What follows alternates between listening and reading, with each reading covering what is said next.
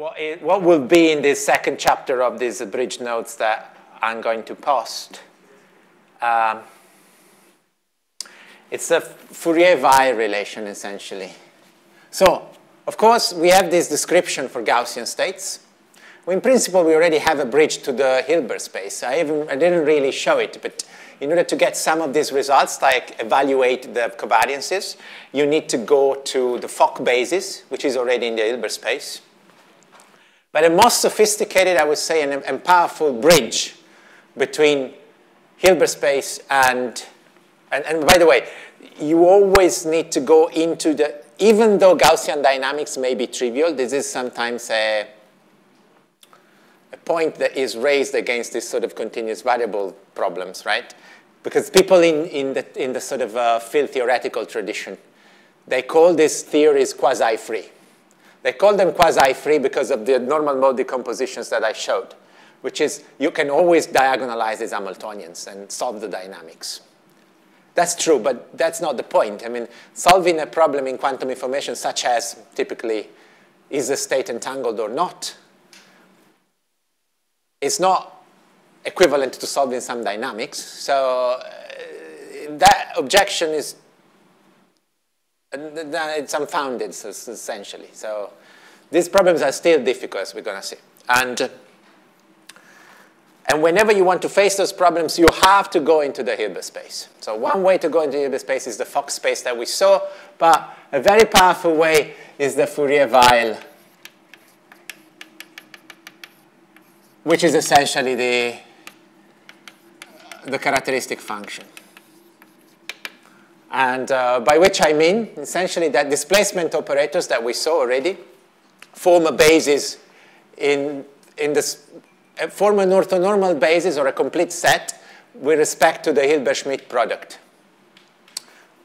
And the consequence, I'm going to state this only for a single mode because stating it with many modes would be unwieldy and unnecessary at this stage. So, but what I mean is I can write any row, any state, let's, let's talk about a state. It, can, it could be any bounded operator, but as an integral a C2 of uh, d alpha. Let me just be sure I use the right, the same convention. Well, I'm not. So d minus alpha uh, trace the alpha rho. This pi normalizes this convention, and where d alpha is the displacement operator, but written in terms of, of complex variables with ladder operators as a basis of operators, that would be this. You're familiar with this, I think, because you've seen Gauss, um, coherent states and all in the day before yesterday. And, but this is the same as what we wrote before with XMP and that omega. This product corresponds to coupling XMPs through the omega matrix. Check it out. Like you, upon this identification. Yeah? This is alpha is x plus ip over square root of 2. And then you get the same, and A dagger and A are the ladder operators. Okay, I don't, I don't want to go into these details. But essentially, what this statement say, what this statement is, is that you can expand a row in the basis of d alphas. Yeah? I know that mathematically this, this, this statement is slightly questionable, but you know, allow me the freedom to be a bit sloppy. And um, that's what I call Fourier-Weyl. And this, in fact, is, that's the characteristic function. There's a symmetrically ordered characteristic function of, of the state rho. Yeah? So then, if we uh, yeah, if we um, Fourier transform this, we take the complex Fourier transform, you get the Wigner function. And we already talked about that, and I don't want to get into this. But as you know, there's a, a number of these quasi-probability function, these, these phase space representations. And another one is the P function. And did you, are you familiar with the P function so I get a sense of what the audience know? You don't know about the P function. Okay, cool. So let me, let me get, be a bit, a bit more specific. I'm not going to show this relationship, uh, how to prove it, because that would be a bit lengthy. But I'm going to give you one bit, which is, this is based on a very interesting uh, representation of the projection on the vacuum. This is equivalent to this, to an equation that we're going to need later, and which is proven in the notes. Oh, 1 over pi, 1 over pi, 1 over pi.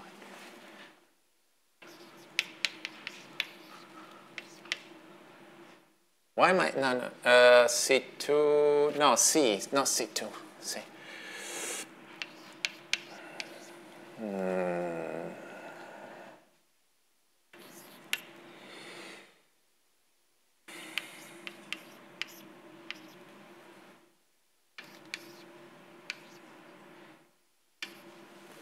Yeah.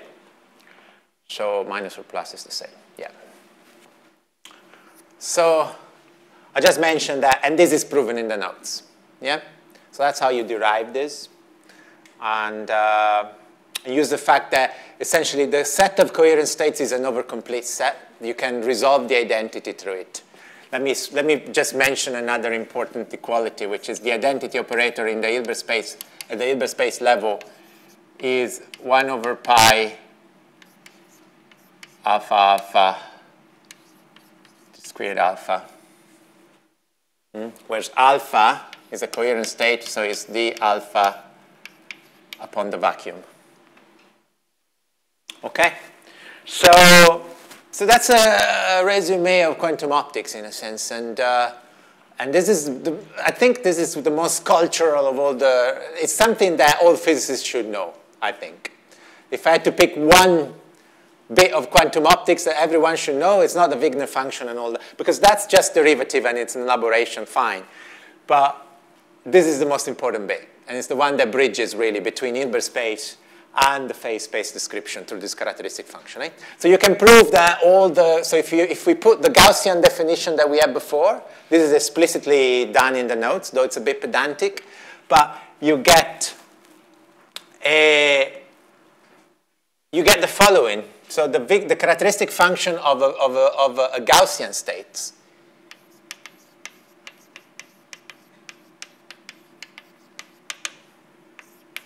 uh, chi alpha.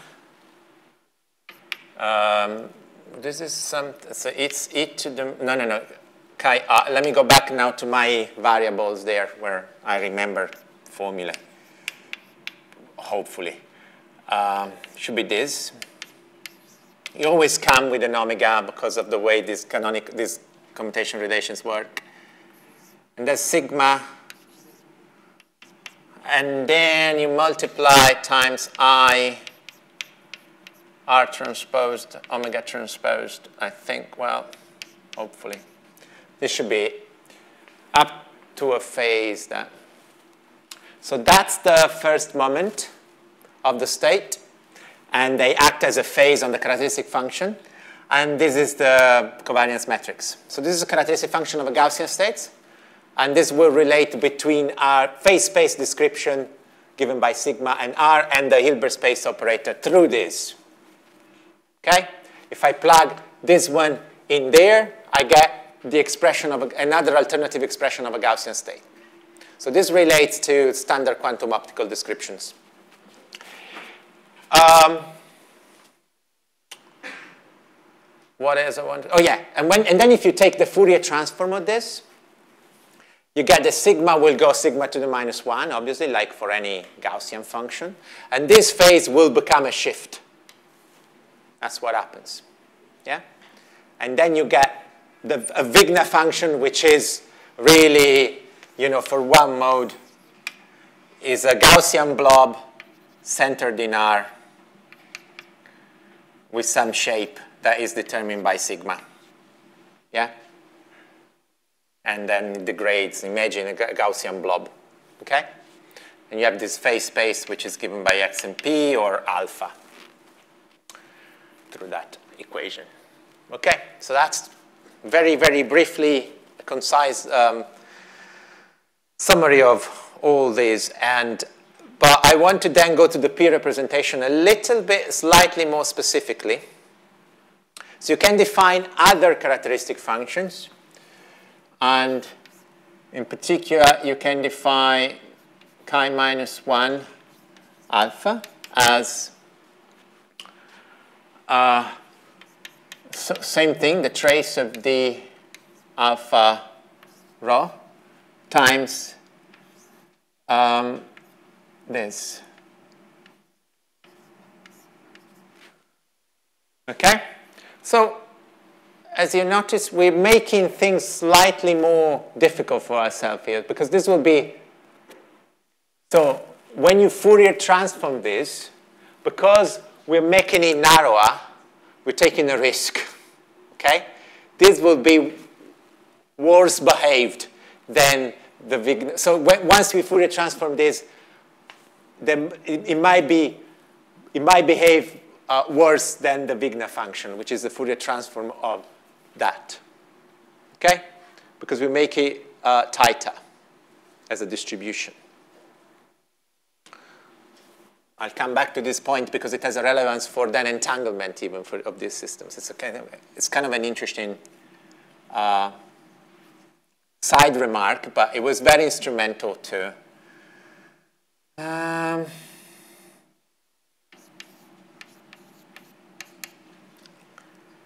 and then the P representation is the Fourier transform of that.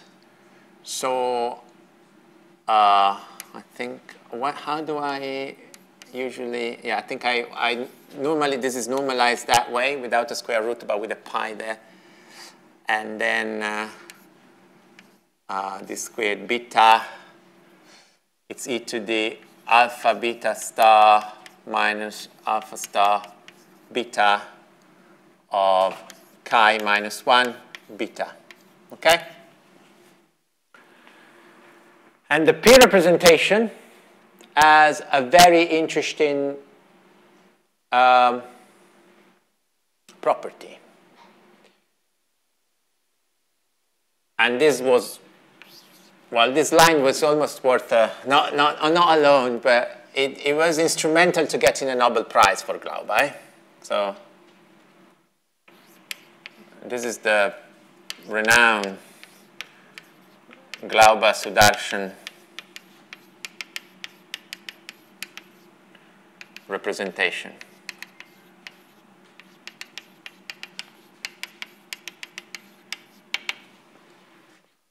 Which is that rho equals simply this. That's a, some, some really freakish equation that so they're so over complete.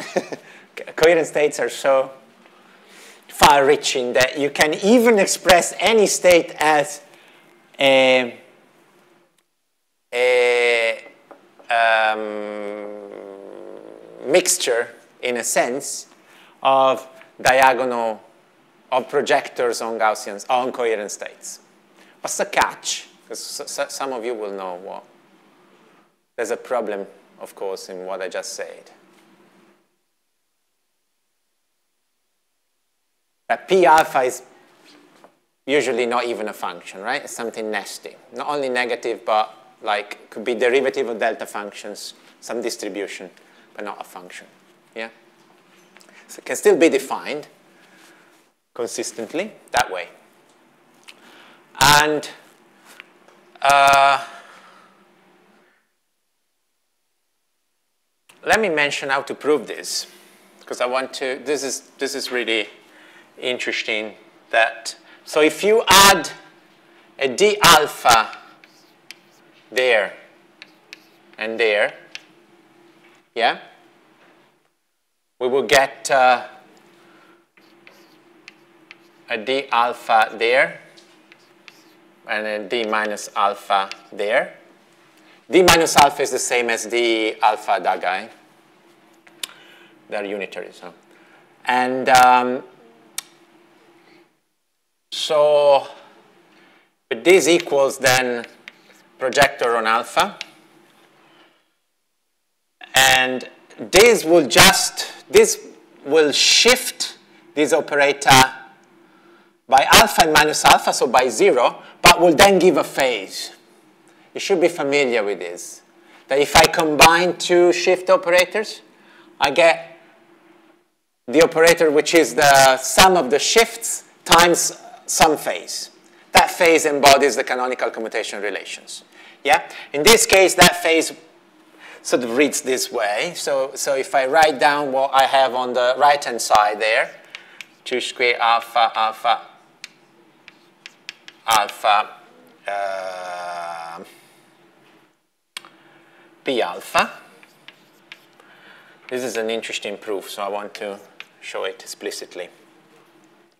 This will be 1 over pi uh, c d squared alpha, and then I do the other integral in, I don't know, say uh, gamma.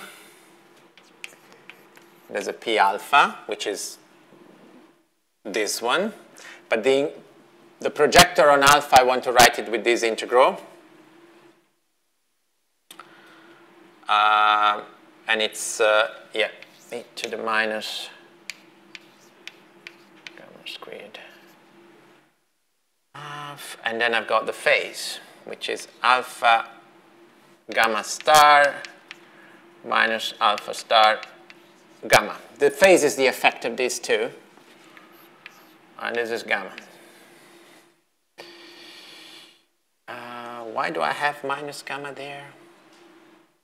Oh, oh, it's the same. I can choose both plus and minus there because it's phase invariant, that, that statement. So, And then, uh, and then I've got, uh, ah, yes, this is, this is really nice, in fact. Ah, now, what this, yeah, so Ah, yeah. So this integral will give me the counter. So I have, I get, I end up with the characteristic function with this. Because I'm counter Fourier transforming the P and then multiplying by that. Yeah? Think about it. This is because we got P by Fourier transforming that. Yeah? So then, that's why this works. So the integral in alpha is uh, eaten up, and I get my chi 1. Why is it chi? Oh, maybe I should have called it minus 1. Ah, I see why I was an idiot. So, yeah, I've been an idiot. That's pretty bad. Okay, so that's why this, this because I started to question myself because of this minus, and now it, it all works. So, and this, I said something really stupid before, which is, of course, I make myself more I make myself more trouble if I multiply this by something divergent like this exponential. Yeah? Okay? So sorry about that. so that's why this P is less regular. And uh, whereas if I put the minus, you get the Q representation, which is more regular. My bad.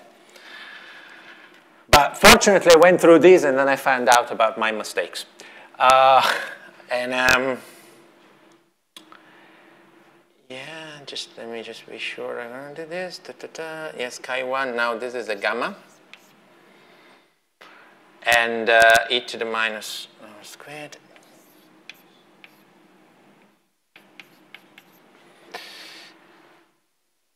Aha. Ah, yes. And this is d minus which is 1 over pi integral over c of this squared gamma, fantastic, chi 0 gamma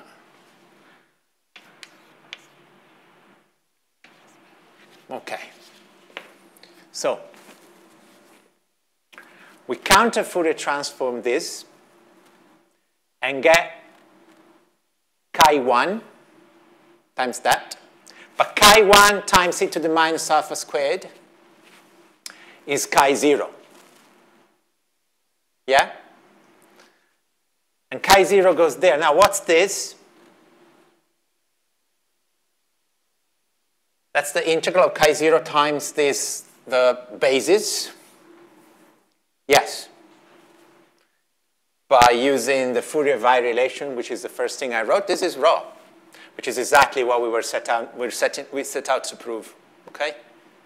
So this is how you prove this celebrated representation. Why am I making all this fuss about this? Um, the reason is that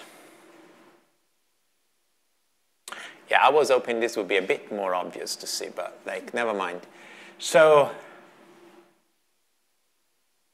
no, actually it is. It is quite clear. Now, in going from alpha to these x functions, you get a factor 2 because of this square root. Trust me, to try, try it out. And then you see that essentially what this becomes, this factor there, becomes e to the RTR over 4. Hmm? Which is also equal, so this is equal really. I mean for a single mode, eh? but it doesn't really matter. Omega t, omega 1 quarter r. Now, so for the p function for the p function of a Gaussian state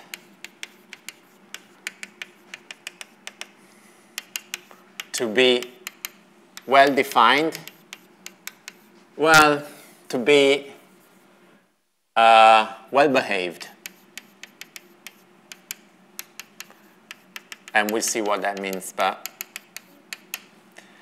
and by well behaved, I mean not worse behaved than a delta function.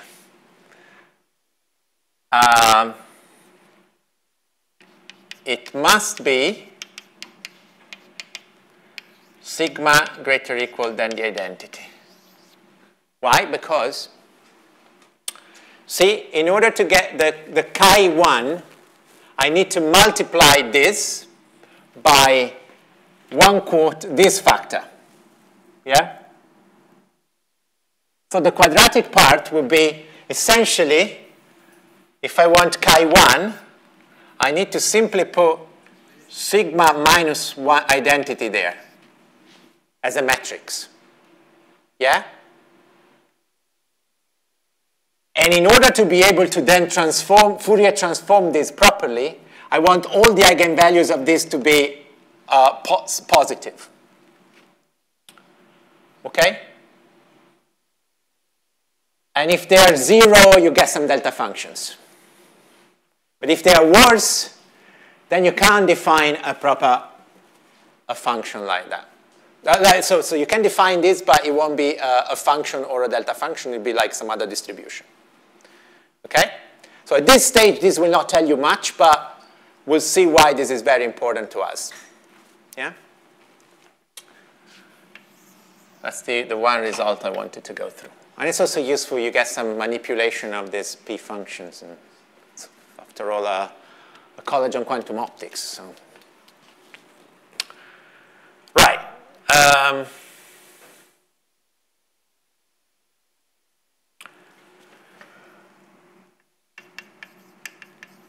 So now we can go on to discuss the entanglement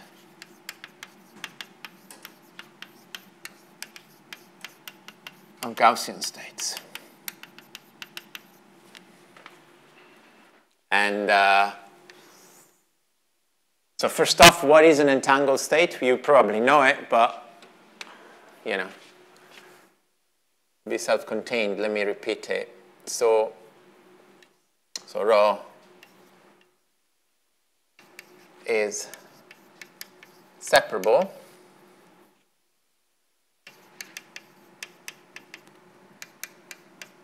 if and only if.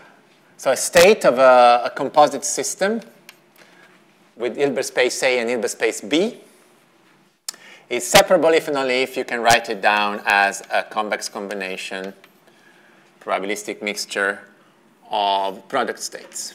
These are all the states that can be, uh, sorry, AJ.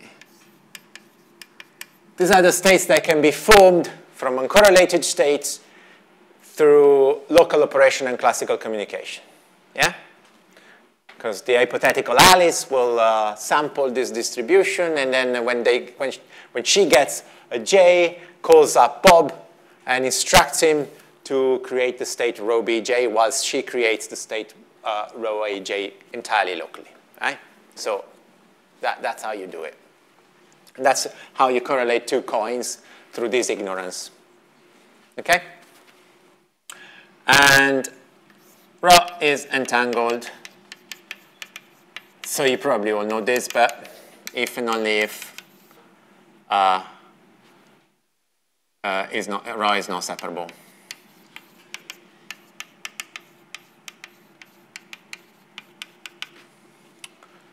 Right, so then, uh,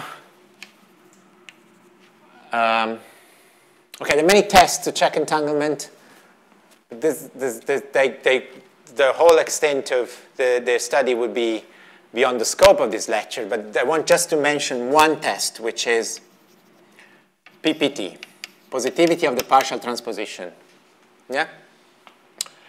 Uh, which is that if rho is separable, and can therefore be written that way, then uh, rho tilde, tilde will stand for partial transposition, which means we transpose only in one of the two Hilbert spaces.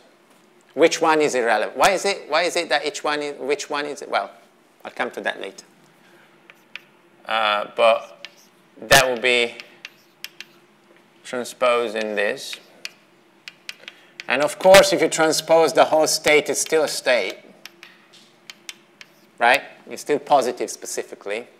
And so therefore, it'd be true that this is greater or equal than zero. So, so it's a positive semi-definite operator. So this is a, a necessary, uh, necessary condition for separability. And it turns out to be, therefore, because of the mutually exclusive definition of the two notions, nature of the notion, it's also sufficient for, its violation is sufficient for entanglement. So therefore, if rho tilde is not positive semi-definite, it has one negative eigenvalue, then rho is entangled. Okay? Yeah? Cool. So then and this criterion is only sufficient in general. It's only necessary for uh, separability that is sufficient in general for entanglement. is not necessarily sufficient. There are PPT entangled states which are called bound entangled because they cannot be distilled. But that's more like quantum information theory, really. So here, to this extent, let me just say this is a test to check that whether this is entangled or not. And it turns out that for the most iconic type of continuous variable entanglement, which is a two-mode Gaussian state. That's what you have in the lab more often than not. Although now with optical combs, they've got these like billions of um, entangled modes, and so the, which would escape this criterion. But basically, in all the early days and most of the situation that we're still interested in now, for instance, if you want to check whether um, the light mode of an optomechanical cavity is entangled with a single um, mechanical mode, that's still uh, that's still a two-mode Gaussian state, perhaps. And you can still check its its, uh, its entanglement through the covariance matrix. And it turns out that this condition, which is what we're going to see now, is, is, is not only necessary, but also, it's not only sufficient, but also necessary for Gaussian entanglement of two modes. That's no longer true for, it's still true for one versus any number of modes. It's still true if you have modes which are bisymmetric, which means that they are symmetric if you exchange modes within the same um, uh, partitions. But it's no longer true in general for, for any generic Gaussian states. So of, of many modes, yeah? M plus n modes. But for two modes, this, is, this turned out to be necessary and sufficient, like for two qubits or for a qubit times a, uh, times a qutrit in finite dimensions. So, and that's what we, we set out to prove. And um, okay, so the first thing I want to prove is ha, that it's first a sufficient condition for separability.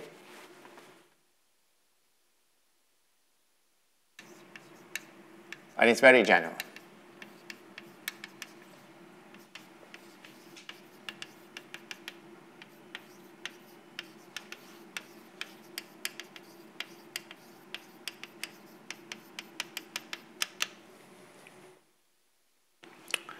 Uh, which is Is it true only for Gaussians, this one? Yeah, um, yeah, I think so.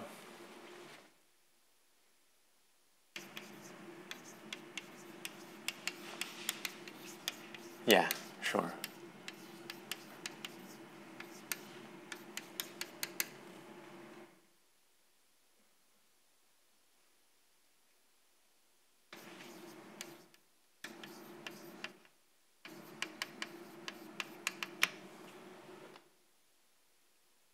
That's it. An M-mode Gaussian state with a, with, a, with a covariance matrix which is greater than the identity is always separable. And why? Because we have it already on the whiteboard, on the blackboard. Yeah? Because of this reason. Because then P so look at what, what would happen. So this will be the characteristic function, and it will be a well-defined Gaussian, because we just need to, to sorry, it's, it's Fourier transform that goes there. Sorry about the sort of mix-up in notation here. This is complex notation. These are just real, but it's just so that I don't write wrong formula. But because if sigma minus 1 is is that way. At most, you can get a delta function, which, which is obviously the p function of a coherent state. Yeah? But um, a projector on a coherent state, see? But uh, this will be well, be well behaved. And this means that in the multimode case, you get a mixture of product states. A well-defined positive Gaussian mixture of of, uh, of tensor products of coherent states. Yeah? I didn't write the multimode case explicitly, but you can see that this all carries on over. And the reason why everything carries over very simply from the single mode case is that all these Weyl operators are tensor products over different spaces. They don't let modes talk to each other. Okay, so it's all a direct sum. So the P representation give immediately this decomposition. So the state must be uh, positive, uh, must be separable, right? So that's the first state. And besides being instrumental to what follows, this, this statement, yes? Between any mode. Any mode. Any mode within this partition. You split this between any partition of modes, you always end up which brings me to the underlying truth, which, which runs quite deep, is that you always need squeezing to have continuous variable entanglement. By squeezing, I mean an eigenvalue of this smaller than, the, than 1. Uh, that's a very nice and powerful statement, though it's very simple. Eh? I mean, it's got like far-reaching implications. No squeezing, no entanglement, ever. In continuous variables for Gaussians, because um, if you truncate the space and, see, and do things like infinite dimensions, you can get different effects that would not abide by this. But okay, so cool. So this is the, the, the first um,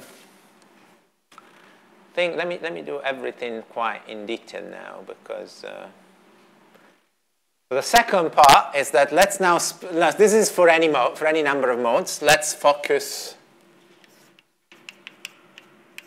Let's now uh, consider two-mode states. As we saw in the previous lectures, we can disregard the first moments as far as entanglement is concerned quite safely because they can be adjusted by LOCC as we like. So uh, let's just consider two-mode states, and then we call sigma, which is where we encode all the information about the state, as sigma A sigma b and sigma AB. So we um, sigma A is um, the 2 times 2 covariance matrix of mode A, and this is the 2 times 2 covariance matrix of mode B, and, and, and this is where the correlations are. Yeah?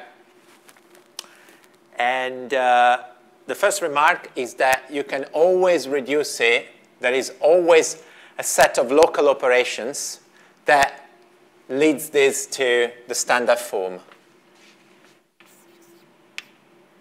through symplectic uh, LOCC, let's call them. Uh, I mean, there's no classical communication needed, it's just LO, but hello.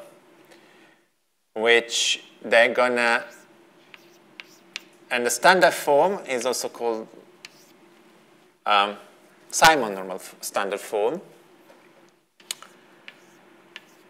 And this, this expression here, C plus, C minus. So why, how do we do this? Well, so first off, you have local operation. Based on, this, on the normal mode decomposition for a single mode state, you can always reduce this to Williamson. Ah, that's also the normal mode form is also called, called Williamson form. Because this was, because, that's because in the 30s, these things were still being studied to some extent in the third, quite late, considering, you know, how fundamental this stuff is, just quadratic Hamiltonians that would appear in classical mechanics. But the trick was that it's quite difficult to classify everything you can do through symplectic operations on any metrics that is not strictly positive. The strictly positive case that I discussed is the simple one. There's a very well-known and notorious uh, appendix to Arnold, classical mechanics books, where all, book, where all these, um, there's also a mistake in the appendix, but all these uh, normal forms are, descri are, described, and that was Williamson theory. Williamson was interested in all the pathological cases that we don't care about at this stage. So that's called Williamson theorem in the literature often. Although Williamson theorem is about the difficult cases that are not just this. But anyway, through by virtue of Williamson theorem, this sigma A and sigma B can be reduced to normal form through local symplectic. And now see, these local, these normal forms are invariant under rotations, under local rotations, which are also symplectic. They are the phase plates that we saw before.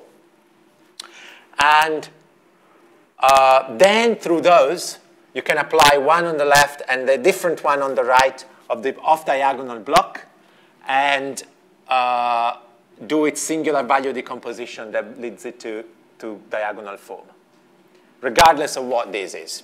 And you can even, you have enough freedom in these orthogonals that you can choose C, C plus to be greater or equal than C minus.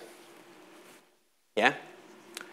Okay, so this is it's always true that you can apply local operation and classical communications to, uh, to um, achieve this normal form. with all these zeros and four parameters which are relevant. And those are the four parameters that are invariant under global and local symplectics. Okay? So then, uh, another lemma. It's um,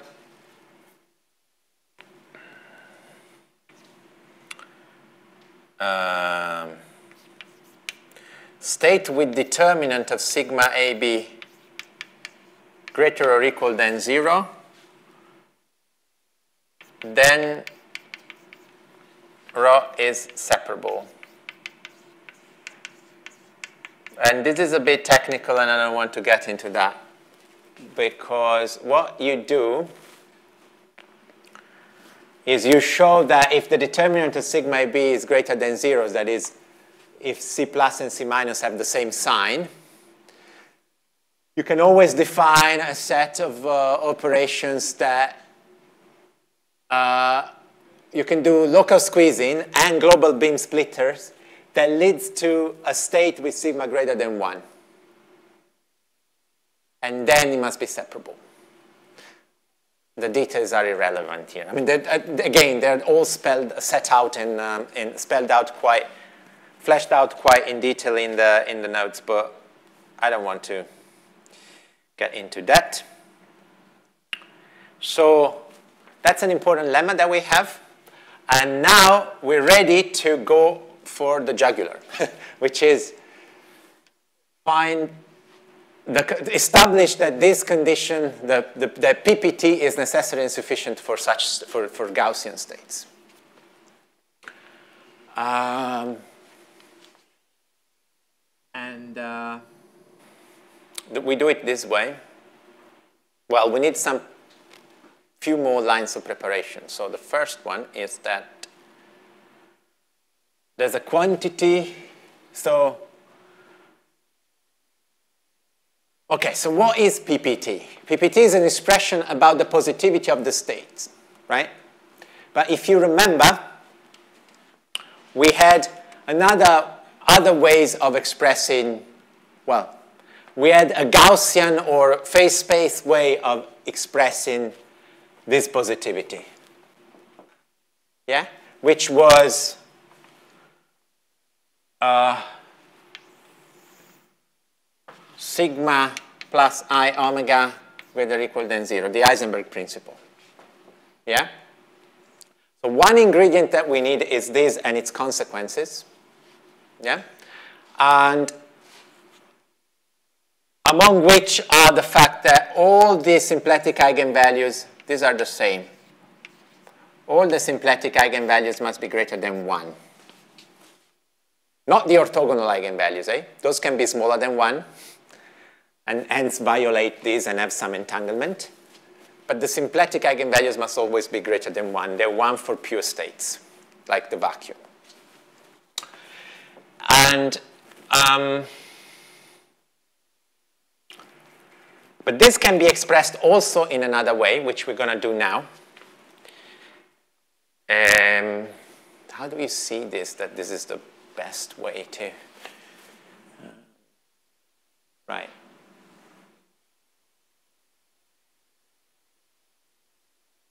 Yes. So it must be able to express this in terms of all the quantities that are invariant under symplectic operations because, you know, you can apply a symplectic there, a symplectic there, and, and this will disappear.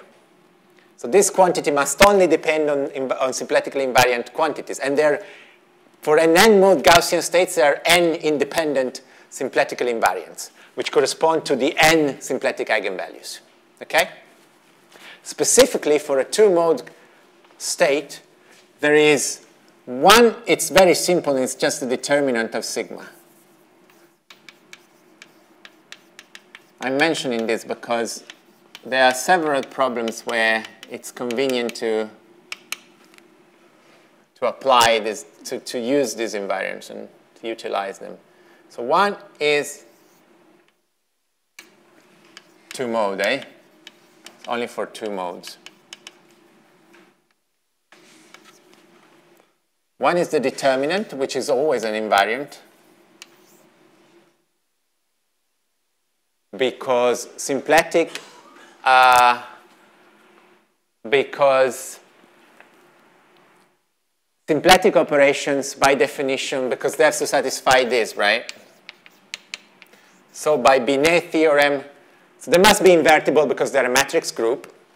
So they cannot have determinant 0. And by Binet theorem, uh, obviously, they must have determinant either 1 or minus 1. And it turns out they always have determinant plus 1, by the way. But, so they cannot change the determinant of sigma acting by congruence. So this must be an invariant. And the other invariant is a bit more exotic. But it's just, you can determine all the invariants by taking the characteristic equation that lets you find the symplectic eigenvalues, I couldn't go into that, and, and constructing the characteristic polynomial. This will be all the invariants, the coefficients of the polynomials.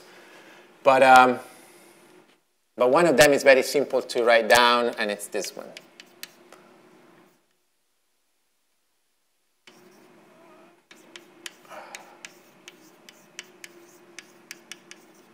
Okay, it's this quantity. It's kind of interesting to see how that, that turns out to be an invariant. Let me see how much time. Yeah, let me do that because I don't want to. Uh, so the reason why this is a, a symplectic invariant can be seen by looking at the standard form. So any state can be brought into standard form so this must be through local operation, eh? So this must be invariants. Because local symplectic operations are still symplectic operations. So, and then, so the invariance must be, the global invariance must be uh, expressible in terms of these four quantities. And so if you look at delta, that would be, uh, you know, a squared plus b squared plus 2c plus c minus which turns out to be, if you regroup this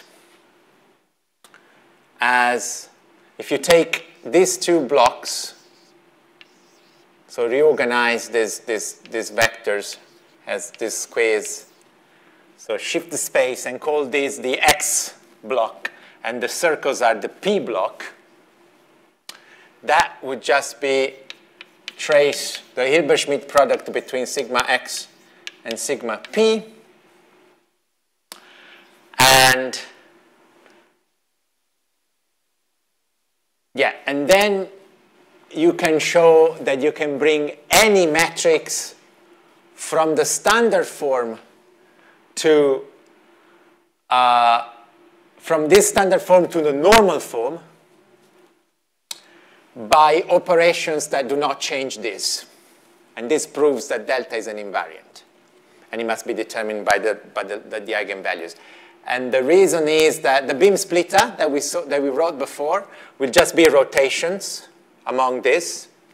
And if you mix this beam splitter and local squeezers, you can do, you can bring this state into, into standard form, into normal form, into a state which is nu 1, nu 1, nu 2, nu 2.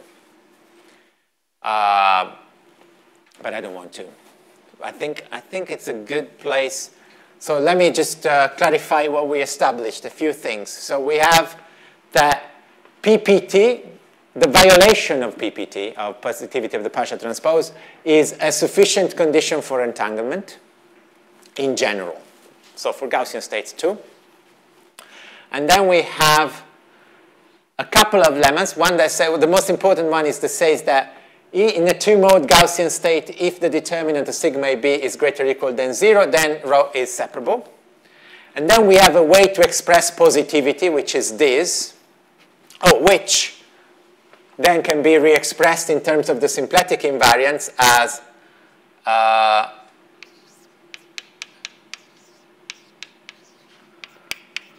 as this, is, this equation that sigma minus delta plus 1 greater equal than 0. And then we have this final statement that the deter because of the Heisenberg principle, I can't really, well, it's not difficult to show this, but you just need to express this delta the fact that that sigma is the product of the symplectic eigenvalues squared, and this is just the sum.